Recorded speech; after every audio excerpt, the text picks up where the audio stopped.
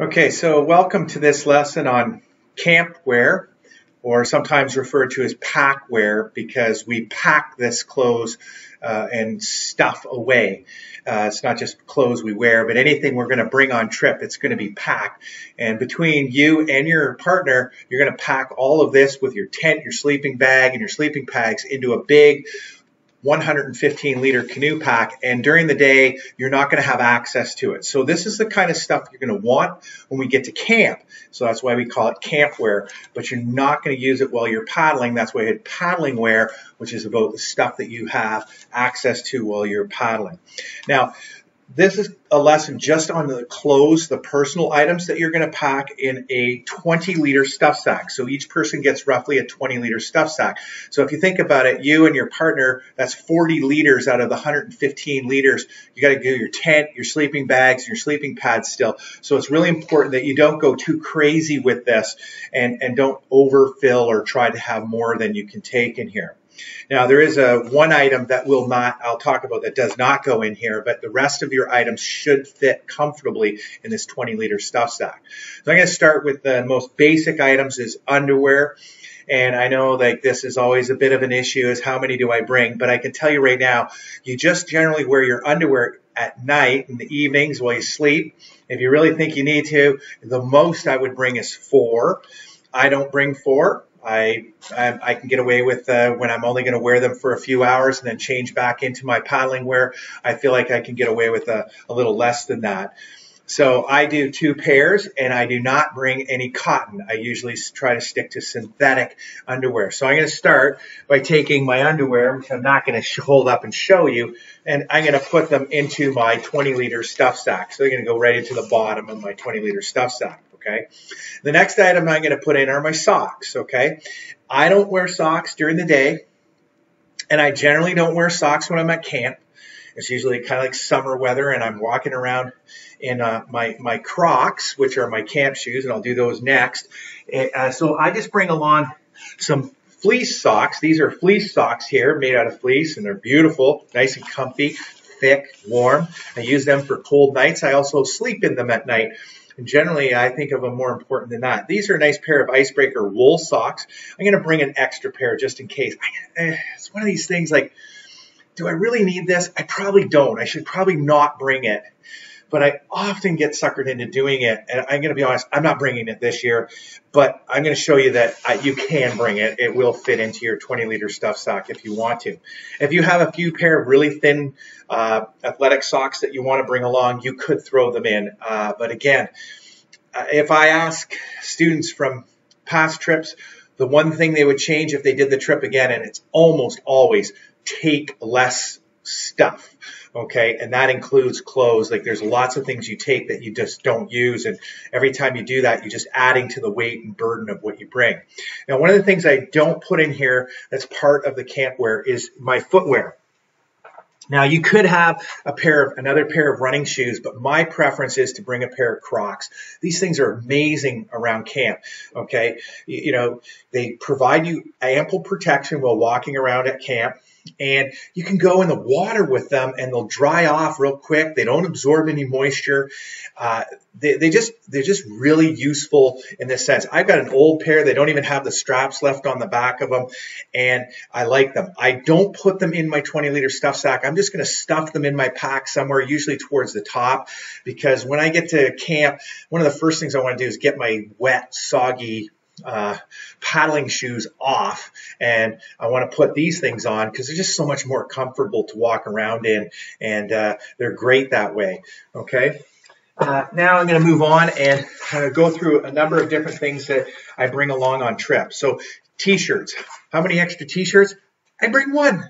Yeah, just one. That's it. No more. Just one. I have one t-shirt. It too is a, a synthetic wear t-shirt.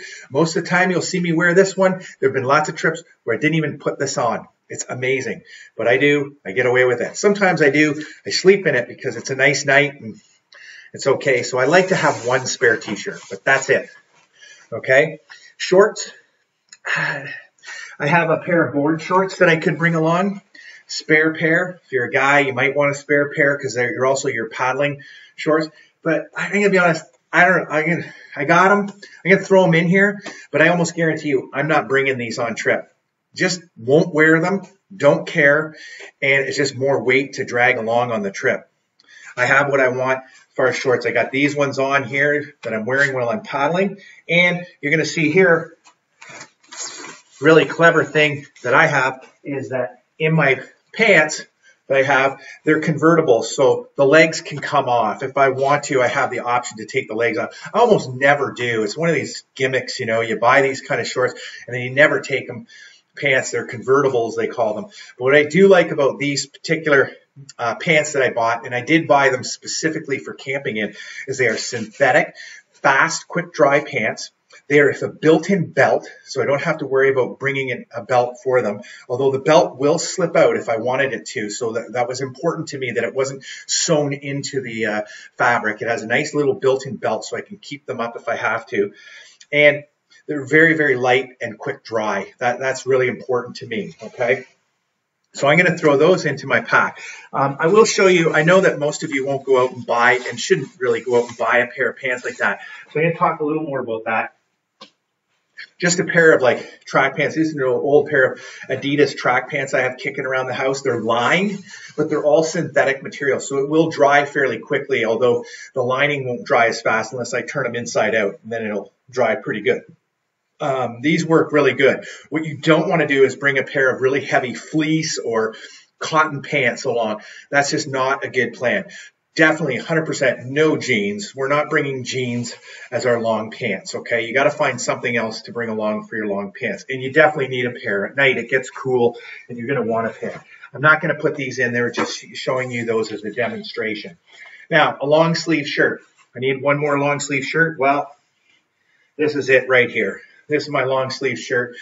Um, you you get this as part of being in the course, and this is why you bring it along on your trip. It's really, really useful. I'm, I'm surprised how if I layer up and I wear this, how warm I stay. Um, it's really an excellent t-shirt. And even the kids after, many of them wear it for years. I see them on the streets wearing it and they talk to me about how much they like their, their shirt. And it's not even really that expensive. Okay. Um, if you really wanted, you could bring a light cotton one. I don't recommend it. If this thing gets wet, it's staying wet and it's going to just be cold, wet. If it's dry, it's not bad. It works just fine. But as soon as it gets wet, it's, it's, it's, it's no good to you. So don't recommend it, but I'm just showing you if, if you're really desperate, you could do that. Okay. I really like to have a pair of long underwear, and primarily what I wear my long underwear for is to sleep in. Now, if it's a cold night, I might put my long underwear on, layer up over top, put my pants, put my shirts on over top, and then I would find myself when I'm ready to go to bed, I just strip down to my long underwear, and that's what I'm going to sleep in. So I have a pair of long underwear. We'll start with a a uh, the shirt top that I bring. This is a Paradox. Uh, it's kind of a merino wool uh, top. I would recommend merino wool or I would recommend a polypropylene if you can find one. But basically, any long underwear set that you can buy, even the stuff, the cheaper stuff at Walmart, will work. Um, you're going to really make every effort to keep this dry. You really don't want it ever to get wet. So this is the shirt that I bring. And the bottoms I bring are a little bit heavier too uh, often. Sometimes I just bring a pair of tights. Um, I, I'm a cyclist, so I have lots of cycling tights that I can grab. And, and a pair of tights works really good. So for the girls who have uh, tights at home, that, that works good. The guys, sometimes if you play sports, you have a pair of tights that you wear over top, maybe for soccer or for hockey. And, and so I, would say that's a good thing. So these ones are a little bit heavier than your traditional tight, and, I, and I'll throw those in just as a, a comfort thing at night. Um, like to be warm at night, don't want to be cold. Okay. a lot of this stuff is serving different purposes that are out there. One of the next things I want to have is a uh, is when I'm sleeping is a toque or a balaclava. So I have my balaclava here. I really, really like my balaclava. It provides warmth around my neck while I'm sleeping and it just keeps my face open. I can pull a chin up and just keep a small area exposed and the rest of me is great. And uh, if you don't have that, you can go with a toque like this, just a light, and this one is a cotton one or wool one, which is fine. Okay. I'm just going to pack my balaclava and it goes in here. It's even smaller than the toque, which is really nice. And then one thing you absolutely have to have is a, a, warm coat of some sort. I have this fleece I'm wearing would be great, but my wife would be very upset with me if I took this nice fleece and I wore it out on my trip and I found myself getting it damaged either around the campfire or just dirty all around. It's pretty nice and it's expensive uh, a fleece. So I have an older fleece that I use specifically for camping. So I really encourage kids if you have your favorite hoodie that you're going to bring along, and hoodies are fine for this. Even if they're made out of cotton, it's okay because we're going to do our best to keep this dry at all costs. Uh, just don't bring your best one or your your new one that you just got for your birthday or something like that, right? That you don't want destroyed. So this is mine. It's a MEC fleece. It's old, but it really has held up over the years and is in great shape. So I'm going to stick that into my bag. And I'm getting that kind of full, but I'm not quite there yet. I'll, hold it up, show you. There we go. So still some room at the top. I still got three or four inches. That has most of my gear in it. Now, one thing you're going to want to have, probably like to have, although that's another one of those items that if I don't bring it, I don't seem to miss it too much is a towel. Now, instead of bringing a towel, I often bring a chamois. This is a chamois chamois made in Germany. It's the original real deal that I bought. And it's very light, very packable. Um, and it works really good. It doesn't dry out the fastest if it does get wet, but it does do a fantastic job and you can wring it out and get all the moisture out of it so it's not real heavy. And sometimes I'll even just strap it to the back of my canoe pack during the day and uh, in a hot sunny day it'll dry off fairly good but it's really handy to dry yourself your body if you get wet and you need to to dry off or even to dry off some of your gear and do things like that I'll take this over a towel almost every time. Some kids will bring a towel, but it can't be a big, heavy beach towel. It has to be something light, fairly thin, and uh, you can do that, right? You do, you, you know, it is nice to have something of that nature with you. Okay. All right, so I'll stuff my my uh, sorry my chamois in there, and I'm getting still got some room in here. Now, there's a few other things that you like to bring along on trip, almost always, or some of the things you need, and you like to bring along. One is I like to have a little baggie that has a few personal items in it. Now, depends on you as an individual. We have camp toothpaste available, so I don't need to do that. But I do have my toothbrush, and what I've done is I've even cut it off to shorten it, just to make it easier to pack. It's not a weight thing; it's just so much easier to fit into the Ziplocky than if I have a big long toothbrush sticking out. So I have my toothbrush here with a, a case that covers the end. And I actually use this uh, a lot of times on a lot of travel trips. I have some body lotion. Sometimes your hands and parts of your body get really dry, and it's nice to have that along. And I also have a little chapstick just in case, so I can also apply some uh, moisturizing to my my lips. Another option, another thing a lot of kids will put in here is a little bit of hand sanitizer. That's perfectly acceptable to have in here. Any other little personal item, but it should be able to fit in this baggie, okay? Nothing that doesn't fit in the baggie. Uh, you'll notice that one thing very distinctly absent is is my deodorant. I don't bring deodorant and I don't recommend you bring deodorant. You don't want to be smelling lovely in the bush because those smells are actually attractions to bugs and other animals. They've even heard stories about them being attractions to bears. So don't really need it. I'm going to be honest, we're all in the same boat. Nobody's really out there trying to smell good or pure really good. You're just going to be your natural selves. And so you'll get used to it. And if you bring it, I almost guarantee you, you'll probably even forget to put it on. I'm always blown away at how little I see kids brush their teeth or take a shower or do anything. One of the things you can bring along is a little bit of bath soap, uh, a little bar of soap, sorry, a little tiny bar or body lotion if you want. Um, and people will go in the water and wash off and rinse, and that's fine. You can do that. Um, I, I, don't even bother with it anymore. I used to do it, but I just find uh, more often than not, I, am not bringing it. So for me, this baggie is pretty light, and that's a good thing. It's a lot less to carry and a lot less to bring. Okay, so I put that into my bag. Lots of lots of room. Another thing that I definitely want have on my trip and I want it in my bag and I like to have it near the top just in case is my flashlight. Now, my preference is to bring one of these headlamps, okay? So this, this will go over top of my head. I can put it on for a second here if you wish, right? There's my headlamp and I can turn this on and off really easy. It's really bright. It has a nice LED light on it and a couple pushes and it turns off. It usually has a couple settings. This particular one is a little bit shock proof, has a little bit of waterproof uh, features in it, which is kind of nice, but there's not really that expensive. I bought a couple of these for 20 bucks, a two pack, I think, at uh, Canadian Tire one time. And uh, there is uh, batteries that uh, fit into it. I usually go out with a fresh set, but if I, you know, think these batteries are good enough, I might just bring a couple of spare batteries. I'll put them in that little baggie that I had before, or sometimes I have them in my life jacket because I also use them for other devices that I bring along, like a GPS or something like that. And I just want them available on me baggie them again and put them in. So that's my flashlight. I'm going to stick this in to my, my bag. And then uh, a somewhat important thing to bring along is some toilet paper.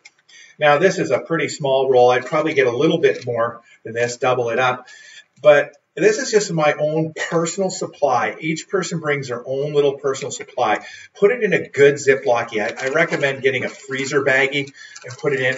And once you do, flatten it push it down. We, we don't need a roll to spin it on here. You're just going to use it on your own when you're out there. And you're going to put this into your, your, uh, your bag. And that's your personal stash. You don't want to make sure you hang on to it. Don't lose it.